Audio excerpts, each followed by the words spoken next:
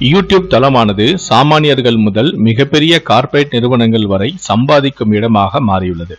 நல்ல கண்டென்ட்கள் மற்றும் சப்ஸ்கிரைபர் இருப்பவர்களுக்கு வீடியோக்களின் பார்வை விளம்பரம் உள்ளிட்ட வழிகளில் பணம் சம்பாதிக்க முடியும்.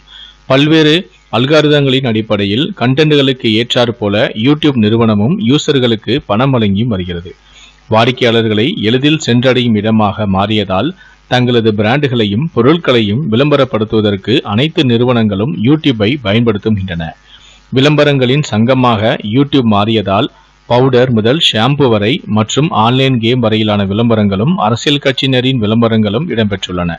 மேலும் புகையிலை மது வகைகள் மாத்திரை விளம்பரங்களும் இடம்பெற்றும் வருகின்றன.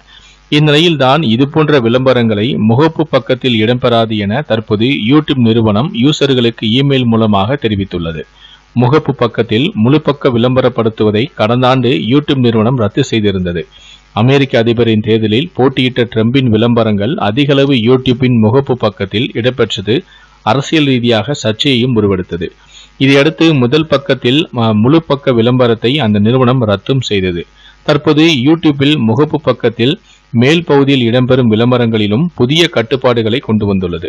அரசியல் விளம்பரங்கள் சார்பு நிலையை ஏற்படுத்துவதாலும் மது மற்றும் புகையிலை விளம்பரங்கள் யூசர்களை தவறான பாதைக்கு வழிநடத்தி வகுக்கும் என்பதாலும் இந்த முடிவை யூடியூப் நிறுவனம் எடுத்துள்ளதாக கூறப்படுகிறது. மேலும் மருந்து கம்பெனிகள் யூடியூப் தளத்தை பயன்படுத்தி மருந்துகளை பரிந்துரை செய்யும் விளம்பரங்களையும் அதிகளவு வெளியிட்டு வருகிறார்கள். இது மக்களை தவறாகவும் மனக்குழப்பத்துக்கும் வழிநடத்தி செல்லும் என்பதால் இந்த விளம்பரங்களுக்கு அஹ், தற்போது யூடியூப் நிறுவனம் தடை விதித்துள்ளது. அதாவது இது தொடர்பாக அவர் வெளியிட்டுள்ள முக்கிய குறிப்பில் முதல் பக்கத்தில் இனி வரும் காலங்களில் புகையிலை மது வகைகள் மற்றும் அரசியல் விளம்பரங்கள் மருத்- மருத்துவர்களின் மருந்துகளை பரிந்துரைப்பது போன்ற விளம்பரங்கள் இடம்பெறாது என தற்போது யூடியூப் நிறுவனம் அதிரடியாக ஒரு அறிவிப்பை வெளியிட்டுள்ளது.